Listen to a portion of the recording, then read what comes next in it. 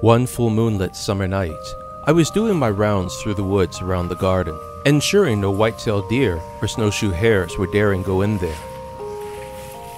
With owls hooting and fireflies flashing in the soft breath of a cool summer breeze, all seemed serene and peaceful, and I was just about to make my way back to the cottage when I looked down and saw it, and at that moment, everything changed.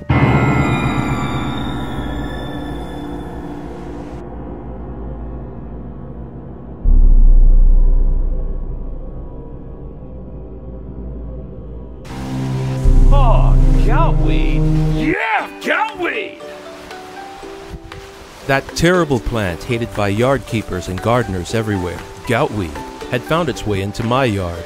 It was time to take foraging to a whole new level. Forageatio. Harvestium. Delicio. Goutweed was loved and cultivated by the Romans, and as their empire expanded, they spread it everywhere. And because it's an interesting and carefree herb, it has been brought to North America to become part of gardens here as well.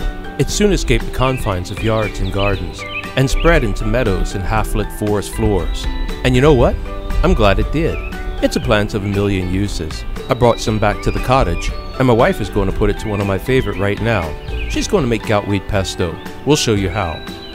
To make a single serving, start with about a cup worth of goutweed. Add two garlic cloves, 3 ounces of sharp cheese.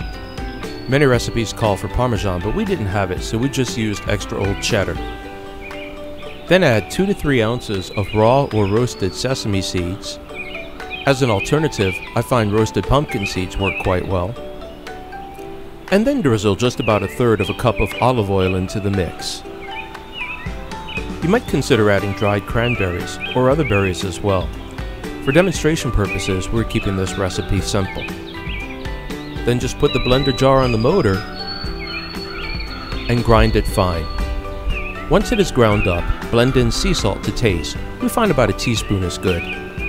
Stir it all up and then let it sit for about 10 minutes or so so that the ground vegetables can absorb the oil. It's good on anything you would use pesto for, but I especially like it on mutton sandwiches. Thinly slice some pugliese or other bread, and generously spread some pesto over one slice. On the other slice, drizzle some mint syrup. Or alternatively, you can use mint jelly. Add your sliced mutton,